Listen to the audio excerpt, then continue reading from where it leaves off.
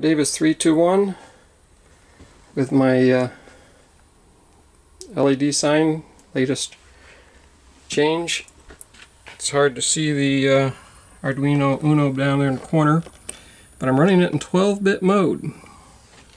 So basically, I'm running 12 strips with a bigger font that I've had to type in manually. And that's done via using ports B and ports D at the same time. I don't know how sharp that is on the screen, but that's the secret. And uh, also at the same time, I'm also working on another font. This is a 5x5 font for a book display. I'm going to be setting this up to sell my books for $10 each. So fireworks, Arduino,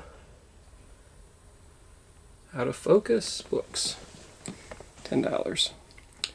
Gotta fill that full of books yet.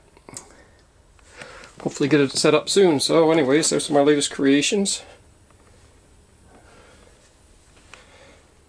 The uh, running 12 strips simultaneously off of uh, ports B and D on the Arduino Uno and uh, 5x5 mini font for my book display. And that's all for now.